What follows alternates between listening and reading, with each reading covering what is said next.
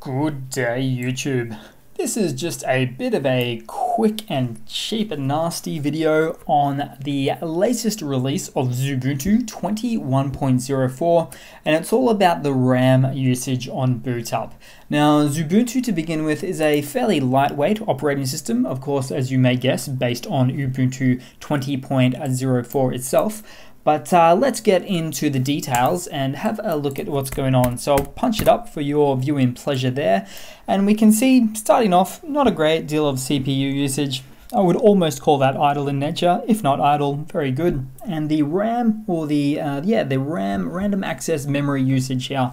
So this is an interesting one to see. So what I'll firstly say is that uh, nothing's really booted up uh, on the actual operating system itself, except of course for the operating system itself there.